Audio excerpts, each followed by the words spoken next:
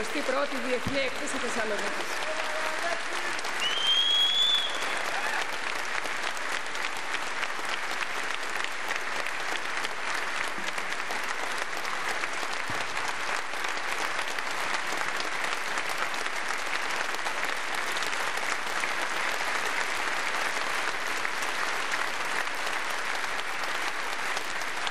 Φίλες και φίλοι, αξιότιμοι προσκεκλημένοι, εκπρόσωποι της κυβέρνησης, της Βουλής, σεβασμιότατε, αγαπητέ Αντιπρόεδρε της ε, κυβέρνησης της Ρωσικής Ομοσπονδίας, είναι μεγάλη χαρά μου να βρίσκομαι σήμερα εδώ και να εγγενιάζω συνεχίζοντας μια παράδοση που ξεκίνησε από το 28 ως πρώτος Πρωθυπουργός ο Ελευθέριος Βενιζέλος.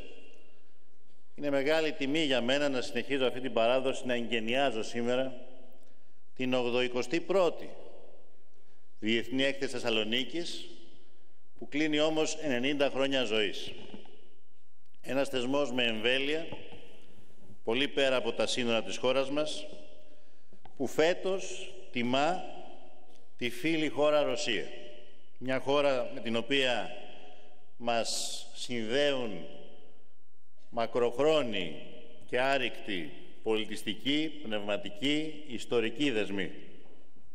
Μια χώρα που παίζει κρίσιμο ρόλο στην παγκόσμια πολιτική και οικονομική σκηνή και με την οποία επιδιώκουμε τη συνεχή εμβάθυνση των οικονομικών, διπλωματικών και πολιτισμικών μας σχέσεων.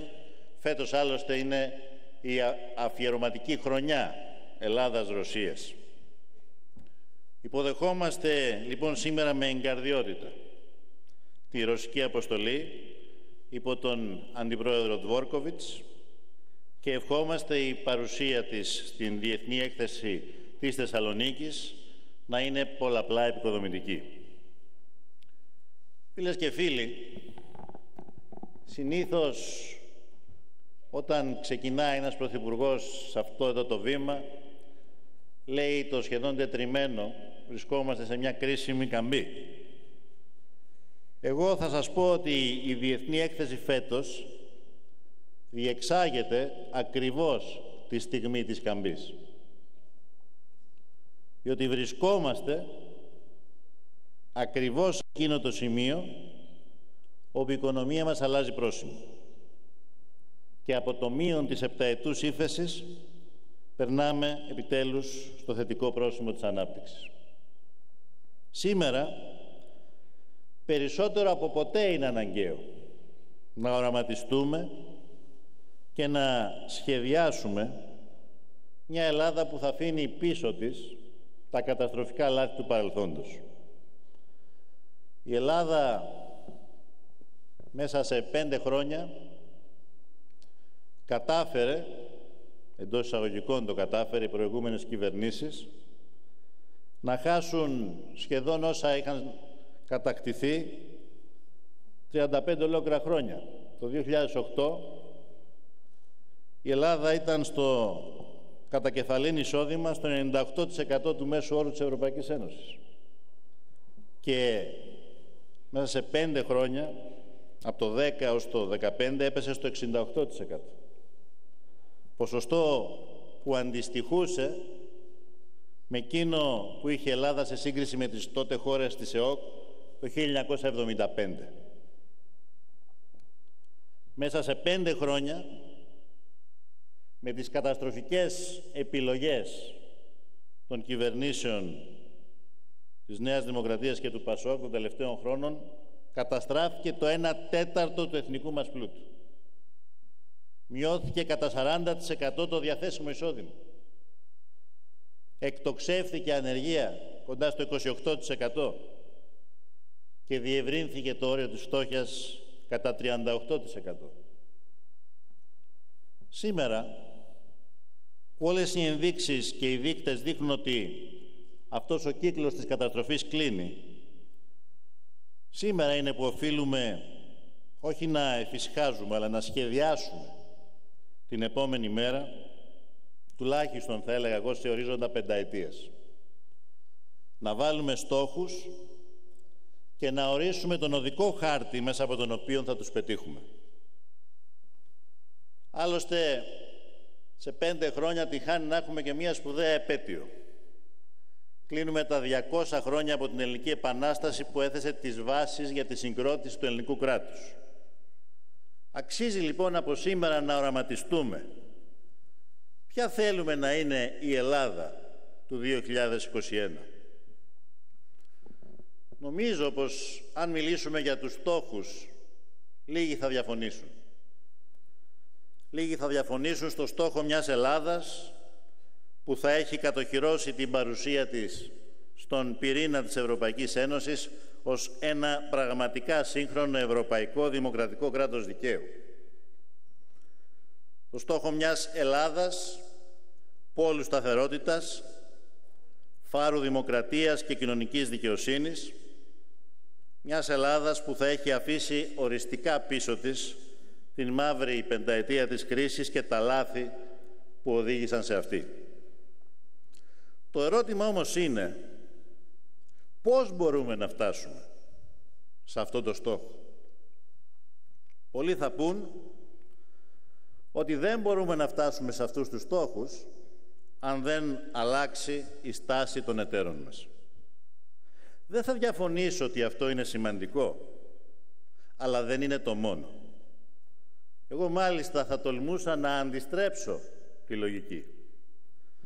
Θα έλεγα ότι σε αυτόν τον στόχο θα φτάσουμε μόνο αν εμείς αλλάξουμε τρόπο σκέψης και στρατηγική. Αν σταματήσουμε να έχουμε το μυαλό μας μόνο στα δημόσια οικονομικά και στραφούμε στην αλλαγή του παραγωγικού μοντέλου της χώρας. Δηλαδή στη δημιουργία νέου πλούτου, αλλά και στην αλλαγή του τρόπου διανομής του. Αν στραφούμε στην καινοτομία, στην έρευνα, στην υγιή επιχειρηματικότητα. Η χώρα μας, υπάρχει αμφιβολία, έχει τεράστια συγκριτικά πλεονεκτήματα.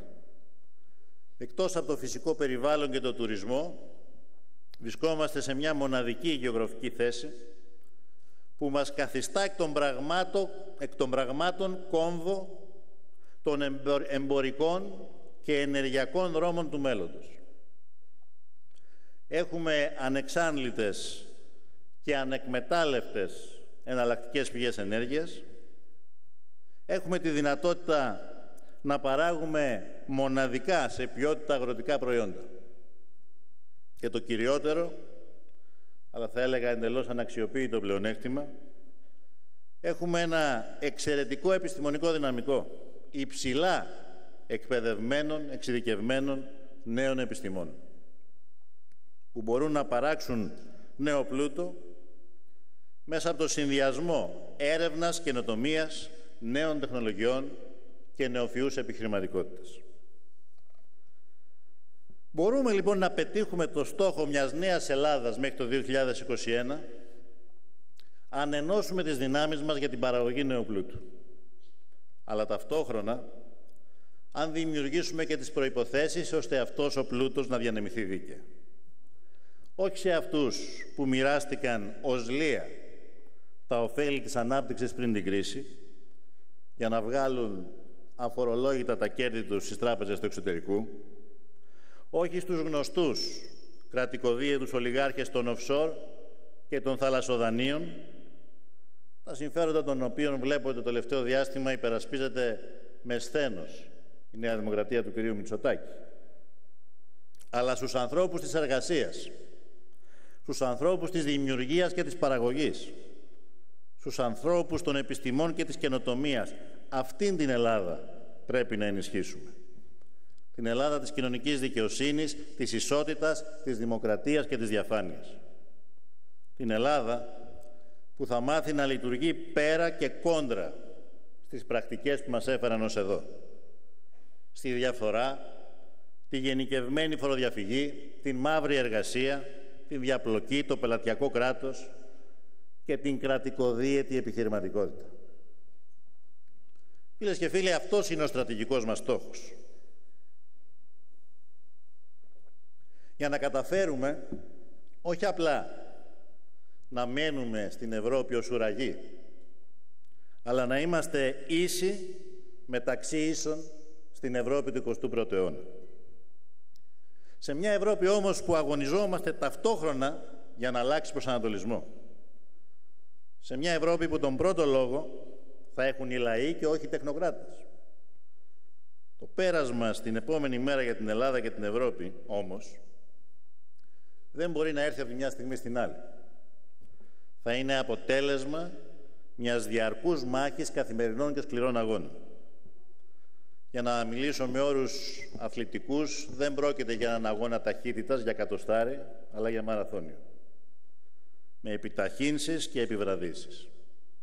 Με άλματα προς τα μπρος, αλλά και με μεγάλες δυσκολίες. Πρόκειται για μια δύσκολη πορεία. Για έναν πόλεμο θέσεων, κινήσεων και λιγμών, ώστε να αποτραπούν οι δεσμενείς συσχετισμοί για την κοινωνική πλειοψηφία.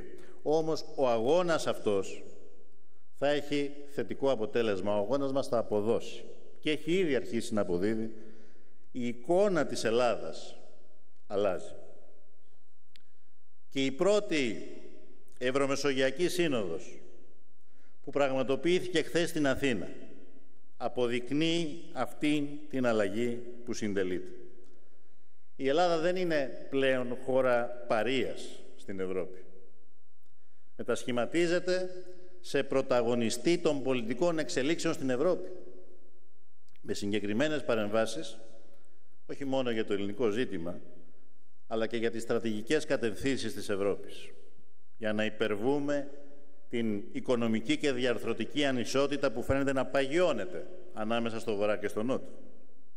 Και για να μπει τέλος επιτέλους στην αποτυχημένη πολιτική της λιτότητας που γεννά μόνο φτώχεια και κοινωνικό αποκλεισμό. Και για να αντιμετωπίσουμε τις προκλήσεις της προσφυγικής κρίσης και να ανακόψουμε την άνοδο της ξενοφοβίας και του ρατσισμού που δυστυχώς κερδίζουν ανησυχητικά έδαφος στην κεντρική και βόρεια Ευρώπη. Φίλες και φίλοι, κυρίες και κύριοι, η αλλαγή αυτή της εικόνας της Ελλάδας στο εξωτερικό. Θυμηθείτε τα πέντε αυτά χρόνια συγκρίνεται πέρυσι με φέτος. Η αλλαγή αυτή της εικόνας δεν είναι ένα φυσικό φαινόμενο. Δεν είναι αποτέλεσμα της τύχης είναι αποτέλεσμα συγκεκριμένων πολιτικών επιλογών. Αγώνων που δόθηκαν και δίνονται σε έναν αρκοθετημένο από τις επιπτώσεις της επιθετικής λιτότητας αλλά και από τις δεσμεύσεις της προηγούμενης κυβέρνησης έδαφους. Με την κύρια δέσμευση για τα εξωπραγματικά πρωτογενή πλεονάσματα που καταδίκαζαν την οικονομία σε διαρκή ύφεση και, σε, και την κοινωνία σε διαρκή απόγνωση. Όλοι γνωρίζουμε ότι αυτό που θα είχε να αντιμετωπίσει ο ελληνικός λαός αν δεν είχε υπάρξει πολιτική ανατροπή το 2015 θα ήταν μια επιπλέον απώλεια της τάξης των 20 περίπου δισεκατομμυρίων ευρώ μέχρι το 2018. Διότι τα πλεονάσματα ύψους 3% το 2015 και 4,5% από το 2016 και μετά, στα οποία είχε δεσμευθεί ο κ. Σαμαράς, μόνο με αίμα θα επιτυγχάνονταν. Μετά από αυτό το σκληρό γύρο της διαπραγμάτευσης, το πρώτο εξάμεινο, καταφέραμε αυτή τη φιλιά να τη βγάλουμε από το λαιμό της χώρας. Οι στόχοι για τα πλεονάσματα που προβλέπει η συμφωνία του περασμένου καλοκαιριού είναι πλέον χαμηλότεροι. Δόθηκε έτσι μια ανάσα και στην οικονομία και στην κοινωνία.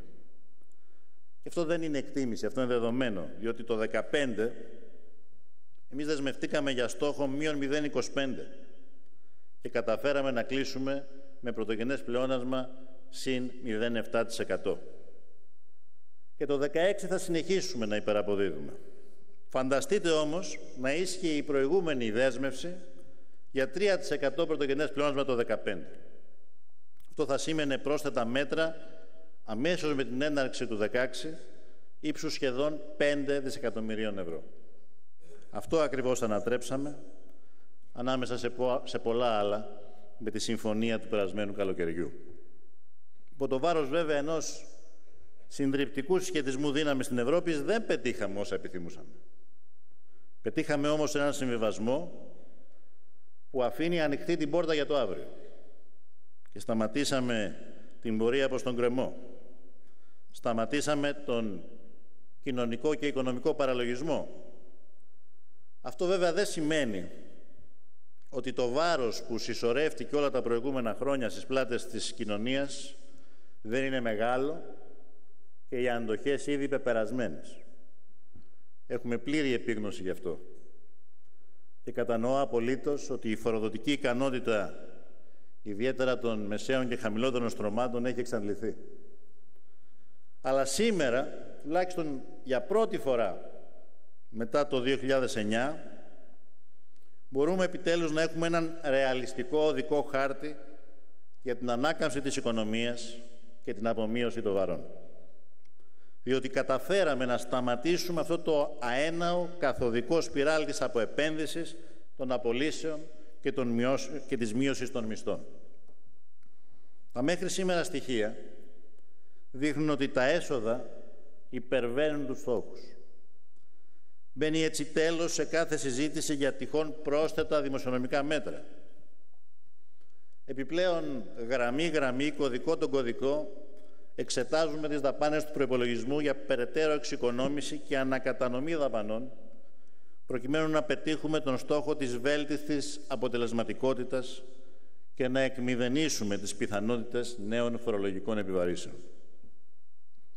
Επίσης, το ακαθάριστο εγχώριο προϊόν αυξήθηκε το δεύτερο τρίμηνο κατά 0,2% σε σχέση με το πρώτο και όλες οι εκτιμήσεις δείχνουν ότι περνάμε σε θετικούς ρυθμούς το δεύτερο εξάμηνο, το εξάμηνο δηλαδή που τώρα τρέχουμε, το δεύτερο εξάμηνο του 2016.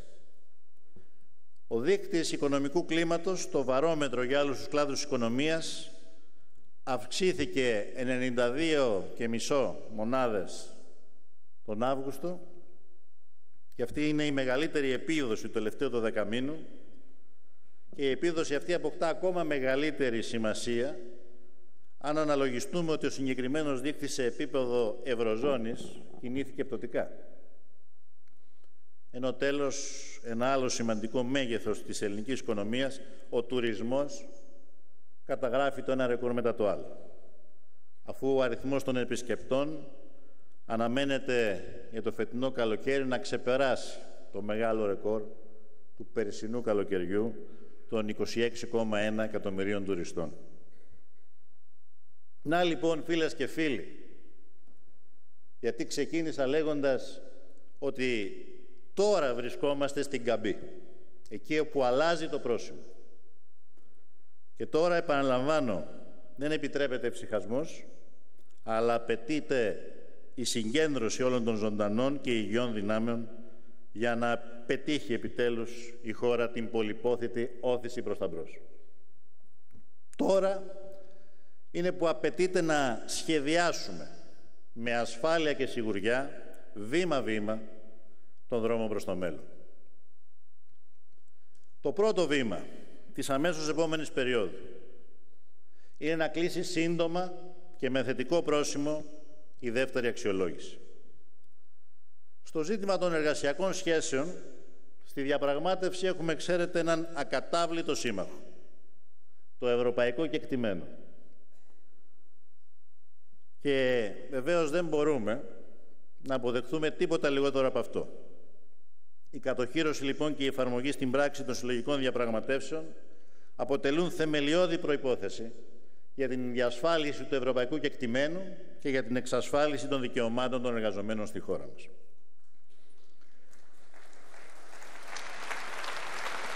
Το δεύτερο βήμα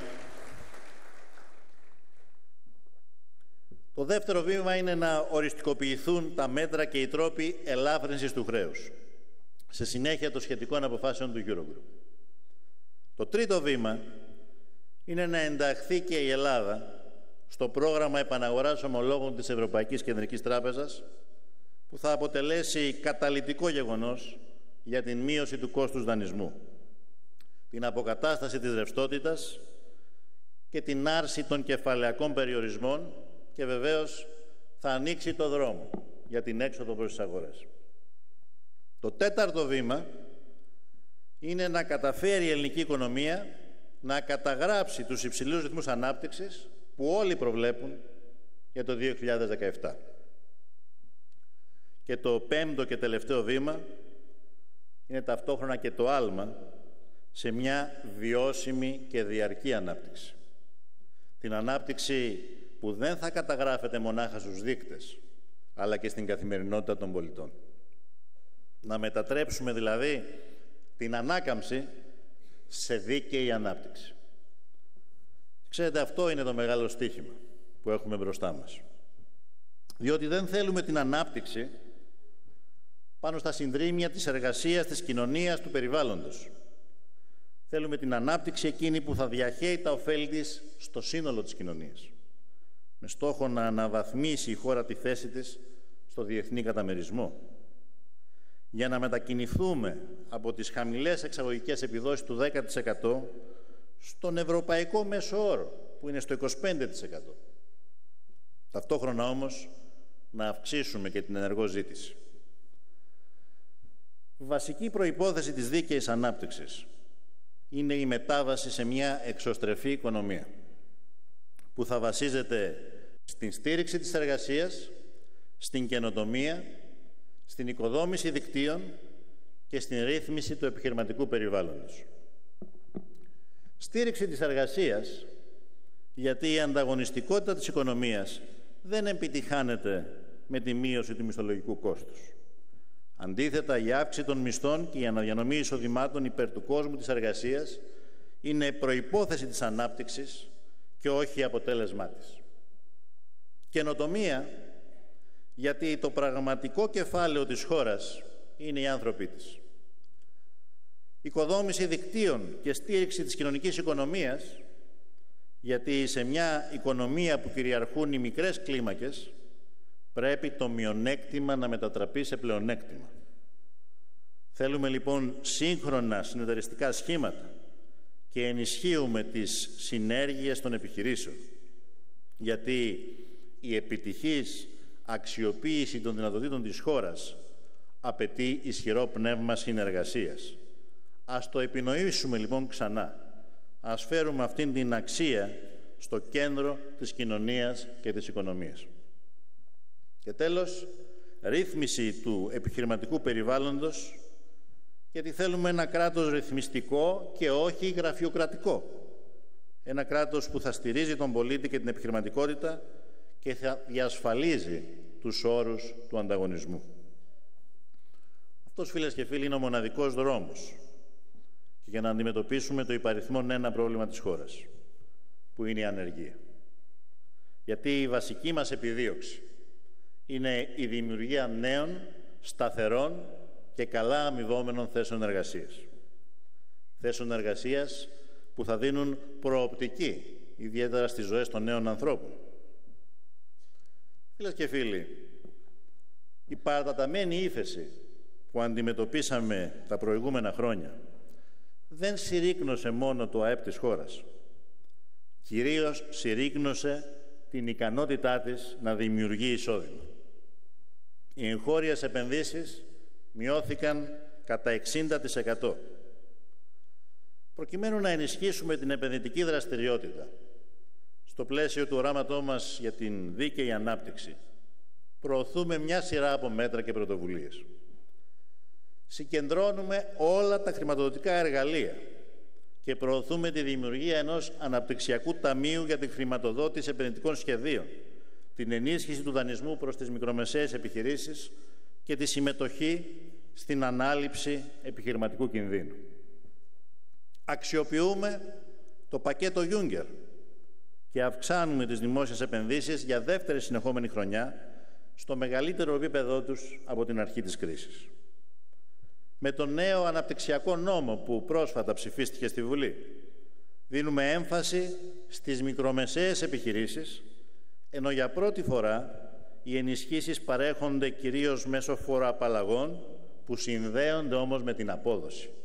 Σπάει έτσι το καθεστώς των προηγούμενων αναπτυξιακών νόμων, όπου το 44% των ενισχύσεων πήγαν μόλις στο 4% των επιχειρήσεων, ενώ το 95% ήταν επιχορηγήσεις για δαπάνες που ποτέ δεν μάθαμε το τελικό τους αποτέλεσμα.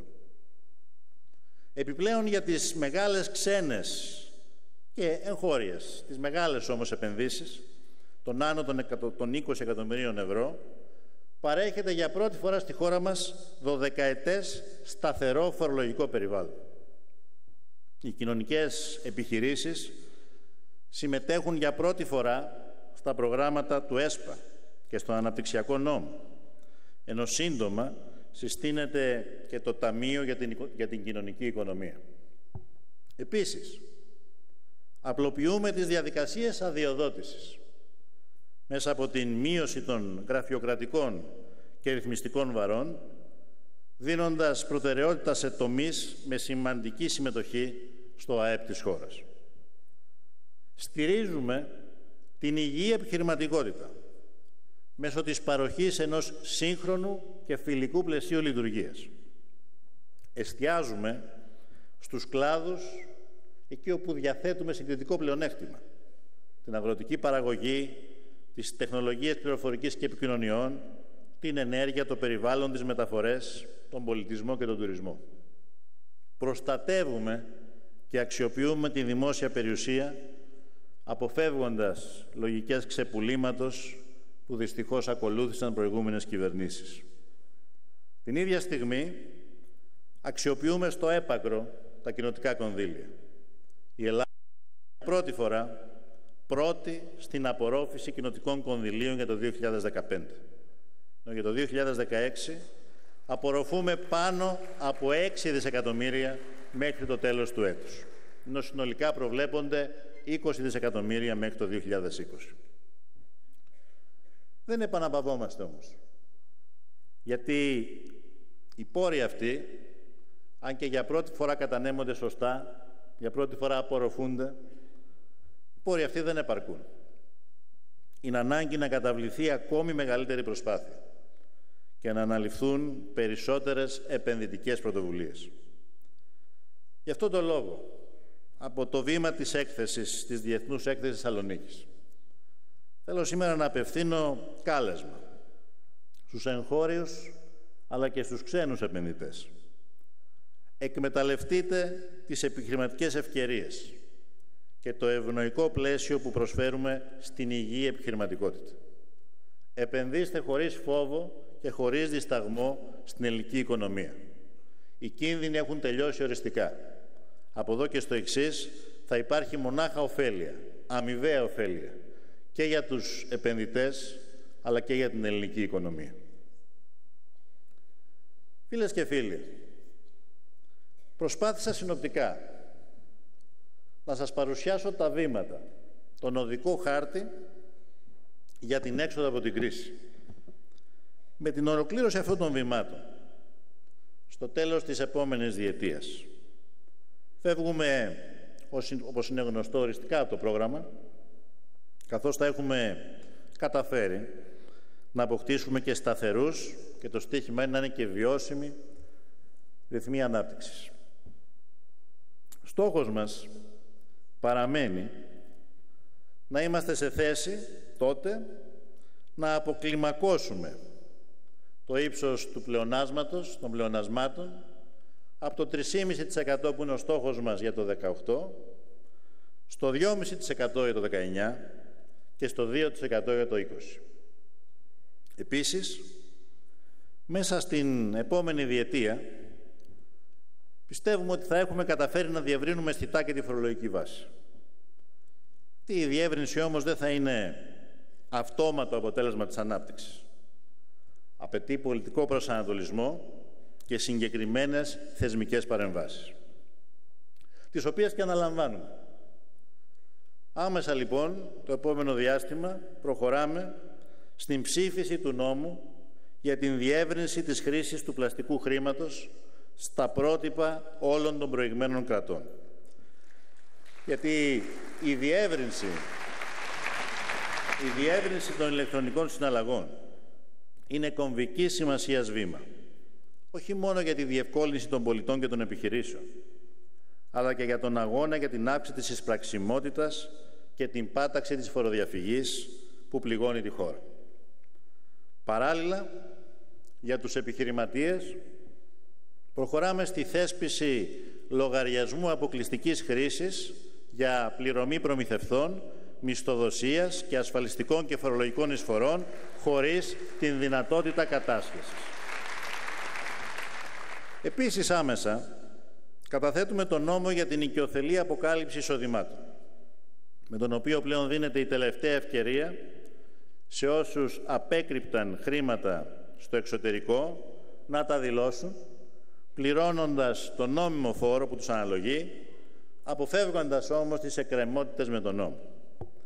Και θα ήθελα εδώ να απευθύνω μια προειδοποίηση. Όσοι δεν το πράξουν θα το μετανιώσουν γιατί θα υποστούν βαρύτατες ποινικές συνέπειες. Η περίοδος της ασυλίας της μεγάλης φοροδιαφυγής έχει πια τελειώσει οριστικά στον τόπο μας.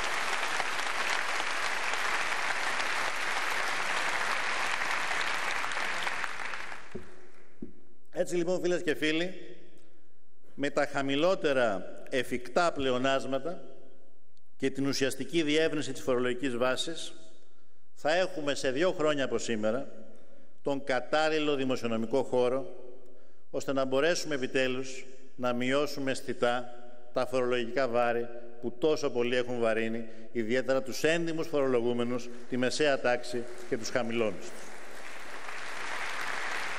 Πρώτον, μειώνοντας κυρίως τους έμεσους φόρους που επιβαρύνουν αδιακρίτως πλούσιους και φτωχούς, έχοντες και μη έχοντες, και δεύτερον, μειώνοντας τη φορολόγηση της ακίνητης περιουσίας, ώστε να κατανεμηθούν πιο δίκαια τα βάρη.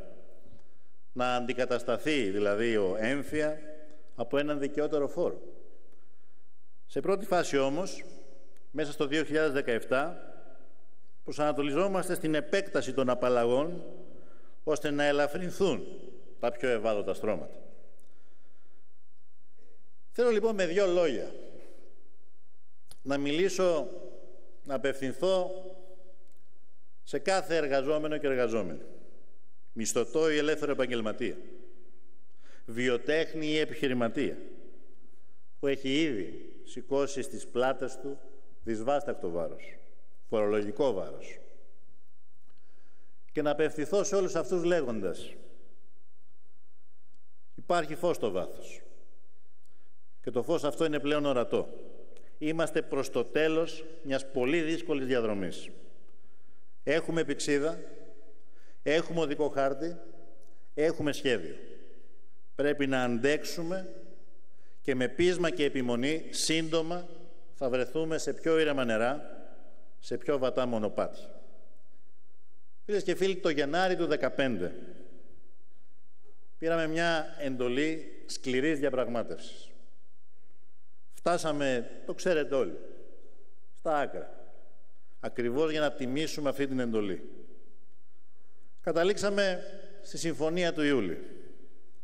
Είχαμε την ειλικρίνεια και τη δημοκρατική ευθυξία να απευθυνθούμε στο λαό ένα χρόνο πριν, ζητώντας την εντολή του για να την εφαρμόσουμε, προχωρώντας όμως ταυτόχρονα και στην υλοποίηση ενός παράλληλου προγράμματος.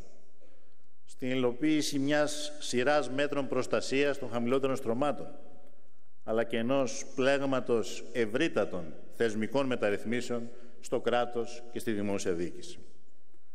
Και αυτή την εντολή την υλοποιούμε. Πριν από ένα χρόνο, σε αυτό εδώ το βήμα, λίγες μέρες πριν τις εκλογές, αναλάβαμε πολύ συγκεκριμένες δεσμεύσεις απέναντι στον ελληνικό λαό. Και αμέσως μετά την επανεκλογή μας, δεσμευτήκαμε για μια σειρά δράσεων εντός του 2016 και οι δεσμεύσεις αυτές υλοποιούνται στο ακέραιο. Έχω λοιπόν σήμερα την άνεση απέναντί σας, ένα χρόνο μετά, να σας τις θυμίσω αυτές τις δεσμεύσεις μία προς μία. Και έχω αυτή την άνεση γιατί δεν έμεινε καμία ανολοκλήρωτη. Και ξέρετε, αυτό σκοπεύω να κάνω. Αυτό σκοπεύω να κάνω από αυτό εδώ το βήμα ως Πρωθυπουργός κάθε χρόνο μέχρι το 2019 σε κάθε διεθνή έκθεση Θεσσαλονίκης μέχρι το 19 θα κάνω τον απολογισμό των πεπραγμένων και όσων σε αυτό το βήμα είχαν υποθεί την προηγούμενη χρονιά. Μέχρι το Σεπτέμβριο του 19. Οπότε και ο ελληνικός λαός θα κρίνει και θα συγκρίνει το συνολικό μας έργο με αυτό των κυβερνήσεων της καταστροφικής πενταετίας 2010-2015. Θέλω λοιπόν να σας θυμίσω τις περσινές μας δεσμεύσεις. Η προστασία της πρώτης κατοικίας από τους πληστηριασμούς. Το καταφέραμε παρά το γεγονός ότι υπήρχαν στο τραπέζι υπογεγραμμένες αντίθετες δεσμεύσεις από την προηγούμενη κυβέρνηση. Η στήριξη του αγροτικού κόσμου με τη ρύθμιση του φόρου εισοδήματος όχι μόνο δεν επιβαρύνουμε τους αγρότες, αλλά η πλειοψηφία τους θα δει και ελάφρυνση. Ταυτόχρονα, με την βέλτιστη και ταχύτατη αξιοποίηση εθνικών και κοινοτικών πόρων, οι πληρωμές ενισχύσεων για το 2015 έφτασαν τα 2,5 δισεκατομμύρια. Ενώ και το 2016 θα δοθούν άλλα τόσα, ώστε να κλείσουν οι εκκρεμότητες πολλών ετών από τις ολιγορίες προηγούμενων κυβερνήσεων. Η διατήρηση του δημόσιου χαρακτήρα του ΑΔΜΙΕ. Το είπαμε, κάποιοι δεν πιστεύαν ότι θα το καταφέρουμε, το πετύχαμε. Η δωρεάν πρόσβαση για πάνω από 2,5 εκατομμύρια ανασφάλιτων συμπολιτών μας στις υπηρεσίες δημόσιας υγείας, στα δημόσια νοσοκομεία και νοσηλευτήρια. Το καταφέραμε. Και ας φαινόταν απίστευτο και σήμερα φαίνεται σε πολλούς απίστευτο η διατήρηση των κύριων συντάξεων και η κατάργηση της ρήτρας μηδενικού ελλείμματος για τις επικουρικές. Επίσης το καταφέραμε. Βάζοντας παράλληλα ξανά, και αυτό ήταν το πιο δύσκολο, σε τροχιά βιωσιμότητας στο ασφαλιστικό σύστημα. Θυμηθείτε τότε κάποιοι μας λέγανε τετραγωνίζετε τον κύκλο, δεν υπάρχει περίπτωση. Και όμως οι κύριες συντάξεις κρατηθήκαν. Δεσμευτήκαμε για τη μεταρρύθμιση της δημόσιας διοίκησης. Υλοποιήσαμε τη δεσμευσή μας. Προχωρήσαμε στην ψήφιση του νόμου που προβλέπει ένα νέο σύστημα επιλογής προϊσταμένων και θέτει επιτέλους κριτήρια για την αξιολόγηση και την κινητικότητα των δημοσίων υπαλλήλων. Επίσης, ιδρύσαμε τη Γενική Γραμματεία Ψηφιακής Πολιτικής και προωθούμε την ηλεκτρονική υπογραφή και την ηλεκτρονική διακίνηση εγγράφου. Ενώ ταυτόχρονα επιταχύνουμε τα προγράμματα για την διασύνδεση των πληροφοριακών συστημάτων του δημόσιου τομέα. Πρόκειται για μια κορυφαία μεταρρύθμιση που ξέρετε θα έχει άμεση επίδραση στην καθημερινότητα των πολιτών. Δεσμευτήκαμε επίσης για ένα νέο θεσμικό πλαίσιο στην παιδεία. Μια γενναία μεταρρύθμιση βρίσκεται σήμερα υπό διαμόρφωση. Την έχει ανάγκη ο τόπος, αλλά πάνω απ' όλα την έχει ανάγκη η νέα γενιά διότι έχει καταντήσει το γυμνάσιο εξεταστικό κέντρο και διότι η εμπορευματοποίηση της γνώσης και ο διαχωρισμός στην εκπαίδευση, ξέρετε, δεν είναι δείγμα αριστείας. Είναι παθογένειες που καλούμαστε όλοι να αντιμετωπίσουμε. Δεσμευτήκαμε επίσης για την ενίσχυση των νέων επιστημόνων και υλοποιούμε το νόμο για την έρευνα με στόχο την ενίσχυση χιλιάδων επιστημόνων μας που χρειάζονται στήριξη για να προσφέρουν στη χώρα που γεννήθηκαν και μεγάλωσαν. Προχωράμε επίσης, προχωρήσαμε επίσης τον εξορθολογισμό της νομοθεσίας για τα δημόσια έργα. Ψηφίσαμε τον νόμο σχετικά με την καταπολέμηση του λαθρεμπορίου καπνικών προϊόντων, αλλά και τον νόμο σχετικά με την καταπολέμηση του λαθρεμπορίου των καυσίμων. Επίσης, για πρώτη φορά, ανοίγουν μία-μία και ελέγχονται οι λίστες της φοροδιαφυγής. Ήδη έχουν βεβαιωθεί πάνω από 900 εκατομμύρια από την αρχή του 2015 και η ίσπραξη προχωράει με γρήγορους ρυθμούς.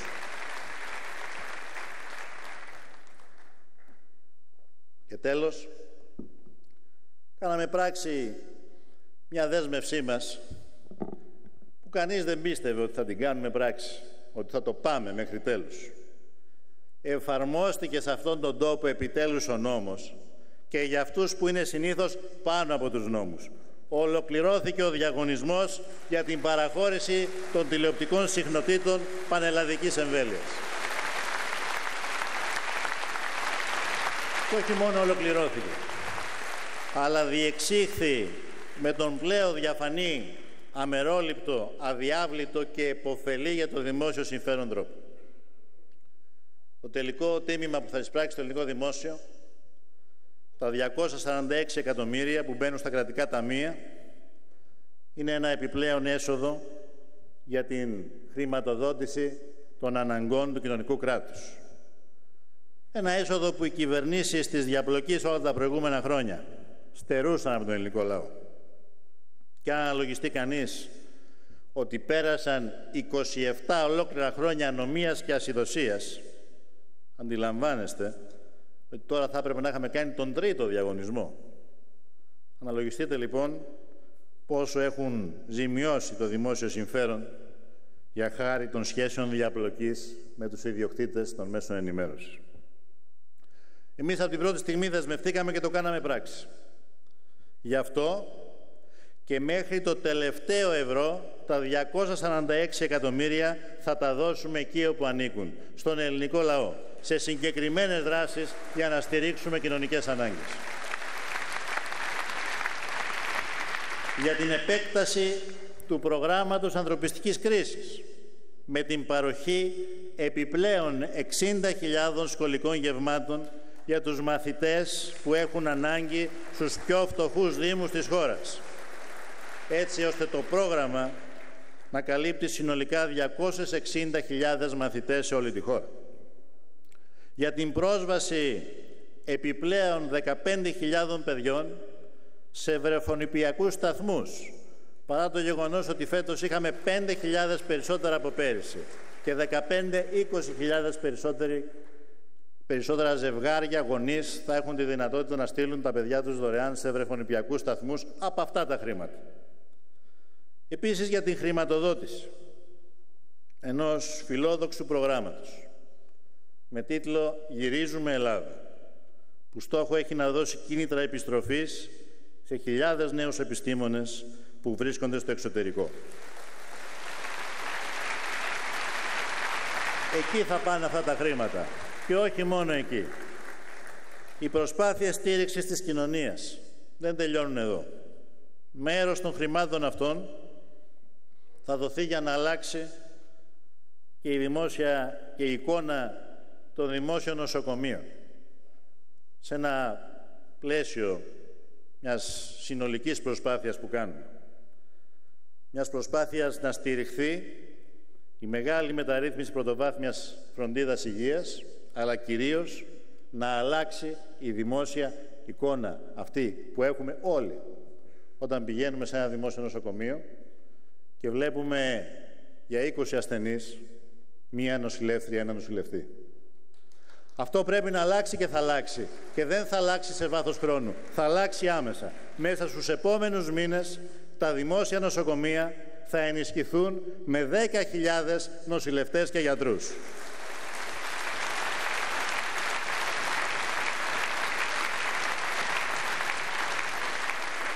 Σχέδιό μας είναι σε λίγους μήνες από σήμερα να έχει ανατραπεί πλήρως η εικόνα που κληρονομήσαμε. Η εικόνα της υποβάθμισης και της απαξίωσης.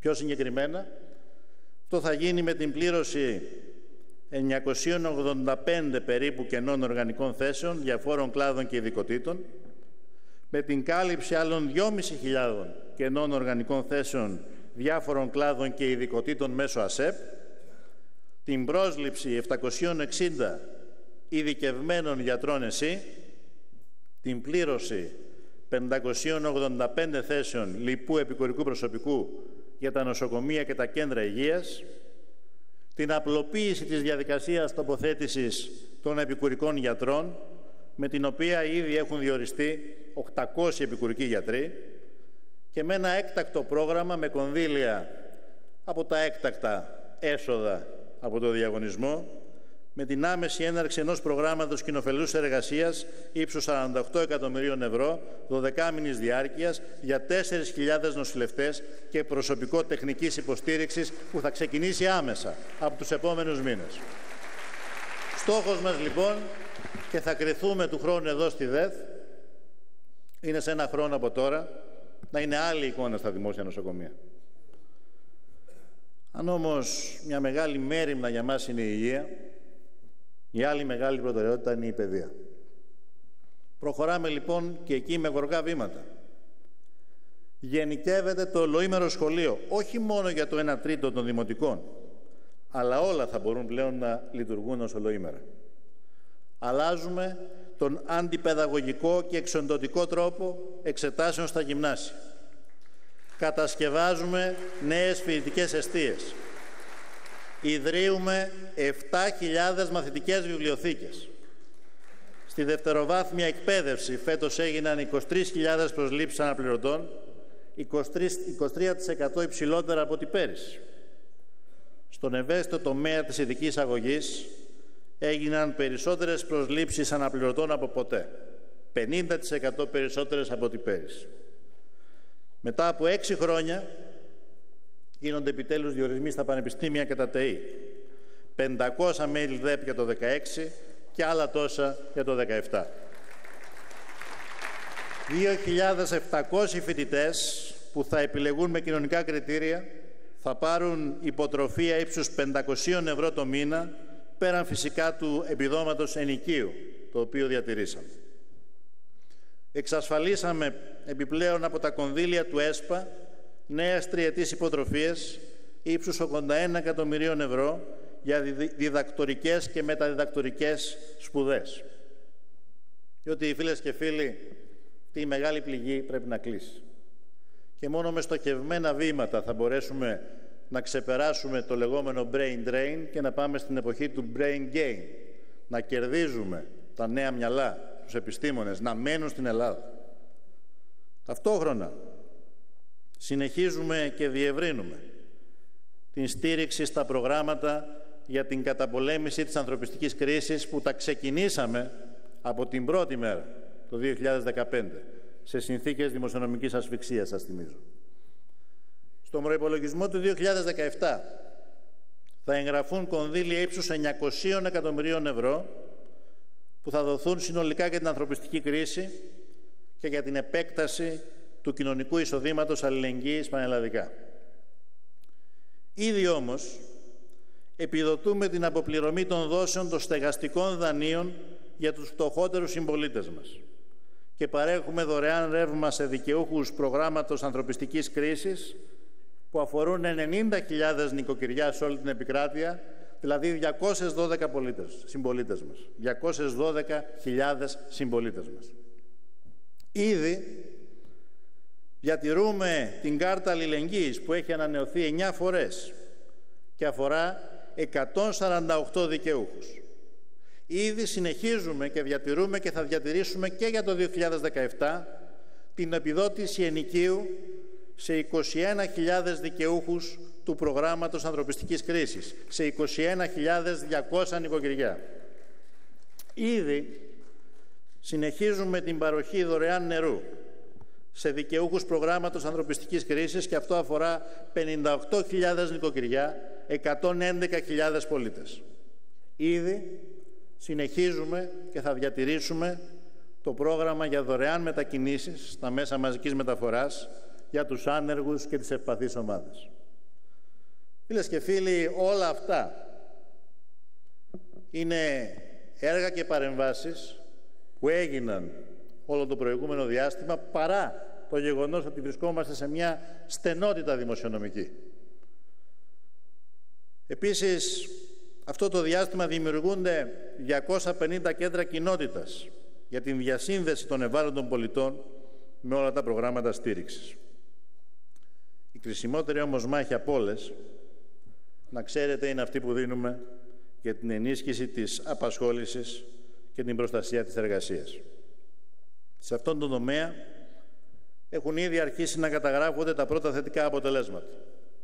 Φυσικά δεν πανηγυρίζουμε, γιατί είναι πολύ υψηλά, απαράδεκτα υψηλά τα ποσοστά της ανεργίας. Ωστόσο, πρέπει να επισημάνουμε, γιατί είμαι βέβαιος ότι όλα αυτά τα οποία ακούτε δεν έχουν ακουστεί και πολύ όλο το προηγούμενο διάστημα από την πλειοψηφία των μέσων ενημέρωσης αρέσκονται σε αρνητικές ειδήσεις. Υπάρχουν όμως και θετικές ειδήσεις στον τόπο και πρέπει να ακούγονται.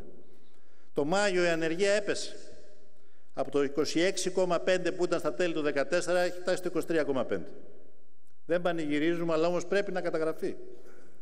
Τον Ιούλιο κατεγράφει ρεκόρ 15 ετία στις νέες προσλήψεις. Για το πρώτο επτάμινο του 2016 το ισοζύγιο των ροών μισθωτής εργασίας ήταν θετικό και διαμορφώθηκε στις 254.000 νέες θέσεις εργασίας. Το προηγούμενο διάστημα διαμορφώσαμε επίσης ένα νέο πλαίσιο για τα προγράμματα ενεργητικής απασχόλησης και κοινοφελούς εργασίας. Εντός του 2016 υλοποιούνται προγράμματα που αφορούν πάνω από 150.000 άνεργους. Πετύχαμε τον επανασχεδιασμό αυτών των προγραμμάτων. Όλα τα περιεχόμενα προγράμματα προσφέρουν πλέον πλήρη ασφαλιστικά και εργασιακά δικαιώματα. Οι εργαζόμενοι μέσω βάουτσερ θα παίρνουν πλέον περισσότερα χρήματα και αναλόγως θα μειωθούν οι αμοιβές των μεσαζόντων στα κέντρα, στα κέντρα κατάρτισης. Οι εργαζόμενοι στα κοινοφελή προγράμματα εργάζονται οκτάμινα αντί για τα πεντάμινα των προηγούμενων σχεδιασμών και άρα πλέον δικαιούνται επιδόματος ανεργίας. Θέσαμε σε εφαρμογή τη νέα γενιά προγραμμάτων κοινοφελούς εργασίας σε 17 δήμους φύλακες υψηλής μακροχρόνιας ανεργίας, αρχικά για 3.737 ανέργους.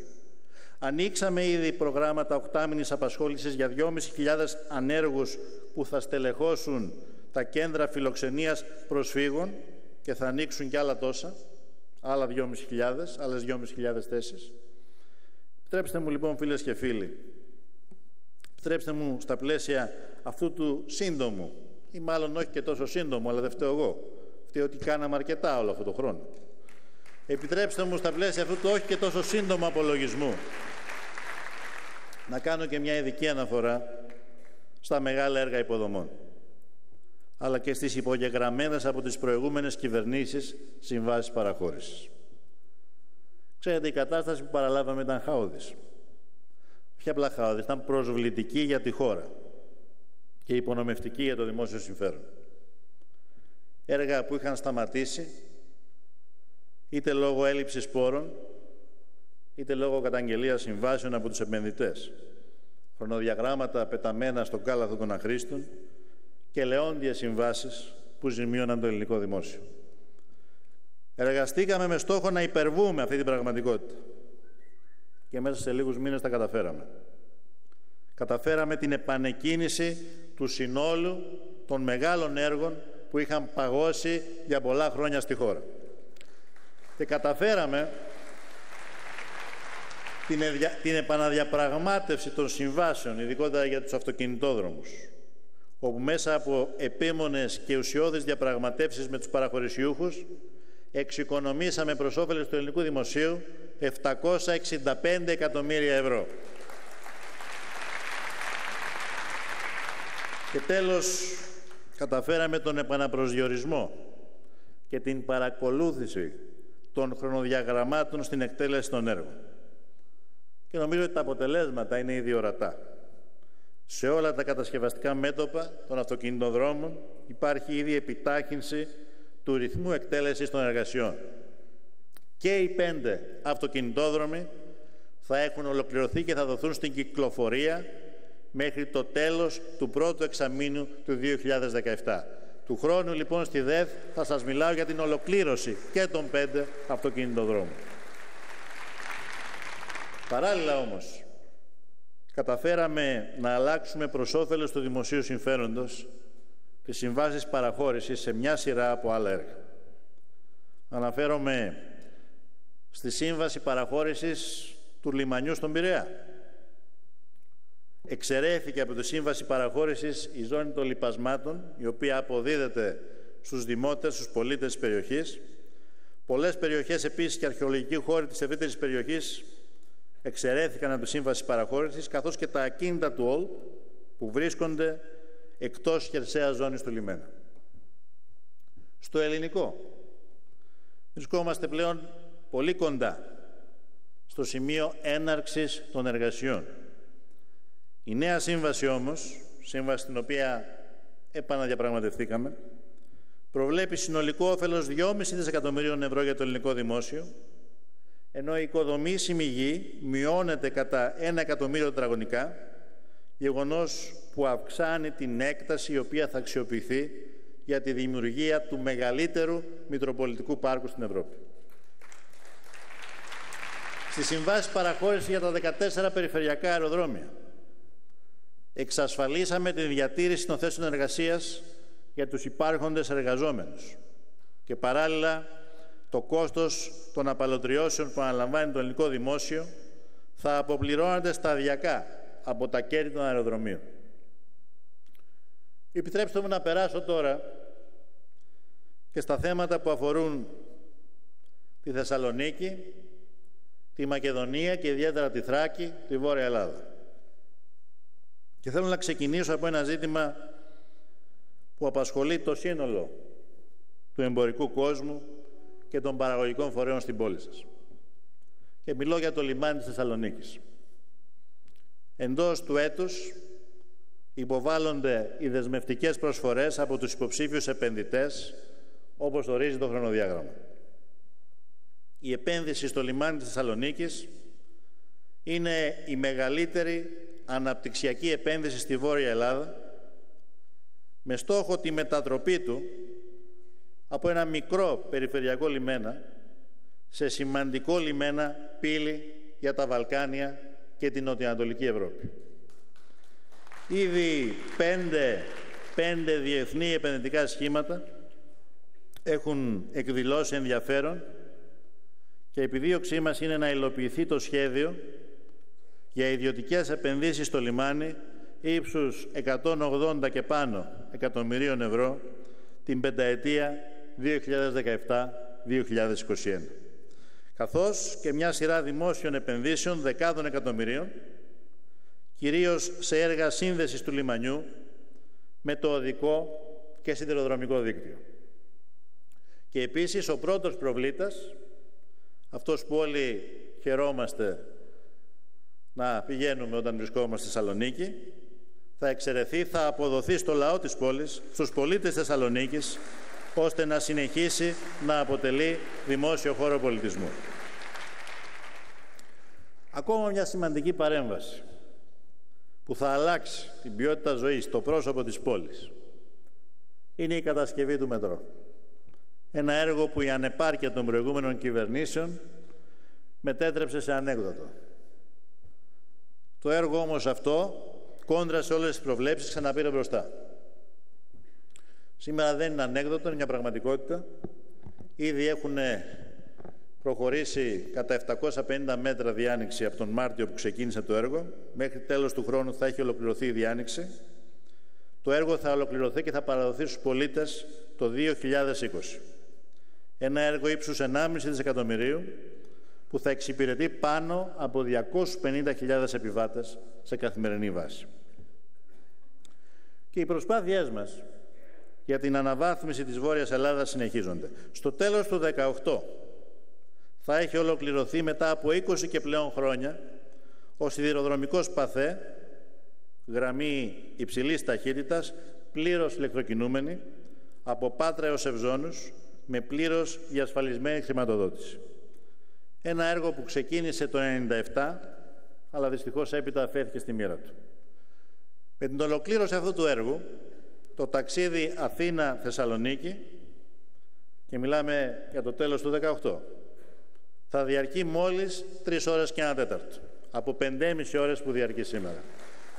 Φέρνουμε λοιπόν πιο κοντά την Αθήνα στη Θεσσαλονίκη. Ανακατασκευάζεται το αεροδρόμιο της Θεσσαλονίκης, αποκτώντας ενισχυμένη επιβατική και διαμετακομιστική δυνατότητα. Κατασκευάζεται το ελληνικό τμήμα του αγωγού φυσικού αερίου ΤΑΠ. Ο ΤΑΠ που θα ανοίξει τον ζωτική σημασία νότιο διάδρομο φυσικού αερίου συνολικού μήκους 3.500 χιλιόμετρων. Αποτελεί ένα εγχείρημα περιφερειακής συνεργασίας με μεγάλη οικονομική και γεωστρατηγική σημασία. Ο προϋπολογισμός του είναι 2 δισεκατομμύρια ευρώ.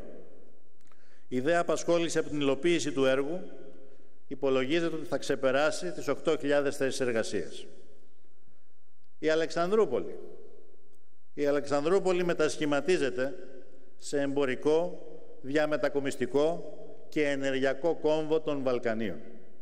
Με την αναβάθμιση του λιμανιού και τις επενδύσεις που θα γίνουν εκεί, τη σιδηροδρομική σύνδεση που αποφασίσαμε στην τελευταία επίσκεψή μου στη Σόφια με την βουλγαρική κυβέρνηση, τη σιδηροδρομική σύνδεση Μπουργκάς-Αλεξανδρούπολη, τη δημιουργία του αγωγού, του κάθε του αγωγού IGB, που θα λειτουργήσει ως γέφυρα για τη μεταφορά φυσικού αερίου προς τις χώρες της Κεντρικής Ευρώπης, αλλά και την κατασκευή του πλωτού σταθμού αποθήκευσης υγροποιημένου φυσικού αερίου LNG. Επίσης, εντός του πρώτου τριμήνου του 2017, ξεκινάει η κατασκευή υποδομών διανομής φυσικού αερίου σε έξι πόλεις της περιφέρειας Ανατολικής Μακεδονίας Θράκης. Ταυτόχρονα, για πρώτη φορά μετά από μια δεκαετία υποβάθμισης και αδιαφορίας, αξιοποιούμε την Αλεξάνδρεια Ζώνη Καινοτομίας για την υποστήριξη ερευνητών και νεοφιών καινοτόμων επιχειρήσεων. Επίσης, επιδιώκουμε την αναβάθμιση της Διεθνούς Έκθεσης Θεσσαλονίκης αλλά και της ίδιας της πόλης. Σε αυτό το πλαίσιο έχω σήμερα τη χαρά και την τιμή να ανακοινώσω ότι μετά την τιμόμενη χώρα την Ρωσία για το 2016, το 2017 τιμόμενη χώρα εκ μέρους της Διεθνούς Έκθεσης Θεσσαλονίκης θα είναι άλλη μια σπουδαία χώρα, η Κίνα. Ένας στρατηγικός εταίρος της Ελλάδας που έχει κεντρικό ρόλο στη μεγάλη μας προσπάθεια για την έξοδο από την κρίση. Στο ίδιο πλαίσιο προχωράμε και στην δημιουργία παραρτήματος του Πρωθυπουργικού Γραφείου στην Θεσσαλονίκη ώστε να καταστήσουμε τη Θεσσαλονίκη πόλη κέντρο για το σύνολο των Βαλκανίων και να μην θυμόμαστε τη Θεσσαλονίκη κάθε φορά που ερχόμαστε στη Διεθνή Έκθεση. Τέλος, λύνουμε την εκκρεμότητα δεκαετιών που αφορά την παραχώρηση του οικοπαίδου του νοσοκομείου Ακιού Παύλου από το ΙΚΑ στο Εθνικό Σύστημα Υγείας. Με την κίνηση αυτή θα καταστεί επιτέλους δυνατή η αναβάθμιση των υποδομών και η βελτίωση της λειτουργίας ενός νοσοκομείου που εξυπηρετεί καθημερινά χιλιάδες πολίτες. Φίλες και φίλοι, άφησα για το τέλος μια πολιτική δέσμευση. Μια δέσμευση που πιστεύω θα δώσει ανάσα σε εκατοντάδες χιλιάδες μικρούς και μεσαίους ελεύθερους επαγγελματίες που στενάζουν κάτω από το βάρος των χρεών και της δυσβάστακτης φορολόγησης. Προχωράμε στην ικανοποίηση ενός πάγιου αιτήματος του συγκεκριμένου κλάδου. Οι ασφαλιστικές οφειλές των ελεύθερων επαγγελματιών και των αυτοαπασχολούμενων στο ΟΕ και στο ΕΤΑ που καθίστανται ληξιπρόθεσμες έως και τις 31 12 του 16 παγώνουν. Παγώνουν ώστε να μπορεί κανείς να είναι ασφαλιστικά ενήμερος εάν είναι συνεπής με τις τρέχουσες οφειλές του. Διότι από 1η Πρώτου 17 οι ασφαλιστικές εισφορές δεν προκύπτουν αυθαίρετα, αλλά συνδέονται με την πραγματική οικονομική δυνατότητα του ασφαλισμένου. Πρόκειται λοιπόν για ένα μέτρο που πιστεύουμε ότι όπως και οι 100 δόσεις, έτσι και αυτό, θα είναι μια πραγματική ανάσα για εκατοντάδες χιλιάδες οικογένειες, αλλά και για τη βιωσιμότητα του νέου δημόσιου συστήματος κοινωνικής ασφάλισης. Φίλες και φίλοι, κυρίες και κύριοι, παρουσίασα σήμερα ενώπιόν σας το σχέδιό μας, τον οδικό χάρτη για την έξοδο από την κρίση, ένα συνεκτικό εθνικό σχέδιο, αλλά και ταυτόχρονα ένα κάλεσμα προς τις δημιουργικές, τις παραγωγικές δυνάμεις του τόπου, για την υπέρβαση της κρίσης και κυρίως για την χάραξη της επόμενης μέρας για τη χώρα μας. Ένα σχέδιο που οικοδομεί πλατιές και σταθερές κοινωνικές σημασίες στην κοινή εθνική προσπάθεια να βρούμε ξανά το βηματισμό μας. Να βρούμε το βηματισμό μας στον πυκνό ιστορικό χρόνο των σαρωτικών μεταβολών που διανύουμε. Παραμένουμε εδώ και θα μας κρίνετε μέρα με τη μέρα, χρόνο με το χρόνο. Παραμένουμε εδώ ταυτισμένη με τη διεκδίκηση του δημόσιου συμφέροντος, με την υπεράσπιση του δημόσιου συμφέροντος, με την υπεράσπιση του συμφέροντος των πολλών, του ωφέλους των πολλών. Και πιστεύουμε ότι βρισκόμαστε, όπως είπα εισαγωγικά, σε μια καμπή. Αυτή την καμπή θα τη διαβούμε. Γυρίζουμε σελίδα. Αλλά γυρίζουμε σελίδα αφού διαβάσαμε καλά την προηγούμενη και αντλήσαμε τα διδάγματά της. Θέλω λοιπόν κλείνοντας να σας πω ότι φεύγω από την Διεθνή Έκθεση Θεσσαλονίκης, από τα εγγένειά της, περισσότερο αισιόδοξος. Περισσότερο αισιόδοξος θα τα καταφέρουμε. Το βλέπω στα πρόσωπα του κόσμου της εργασίας, της δημιουργίας, της παραγωγής. Να στηρίξουμε τους ανθρώπους της παραγωγής, τους ανθρώπους της δημιουργίας. Δεν είμαστε εχθροί, είμαστε φίλοι της επιχειρηματικότητας. Είμαστε εχθροί όμως της κρατικοδία της επιχειρηματικότητας που τόσα χρόνια ήταν βαρύδι για τον τόπο. Και θα δημιουργήσουμε όλοι μαζί τις συνθήκες για να παράξουμε πλούτο και να το μοιράσουμε δίκαια. Εμείς θα συνεχίσουμε να κάνουμε ό,τι μπορούμε προκειμένου να προστατέψουμε και να διευρύνουμε το δημόσιο συμφέρον. Λάθη θα κάνουμε, αλλά να είστε σίγουροι ότι ο μοναδικός μας στόχος, το μοναδικό μας κίνητρο είναι να βγει η χώρα από την κρίση με την κοινωνία όρθια. Και θα το καταφέρουμε. Σας ευχαριστώ θερμά.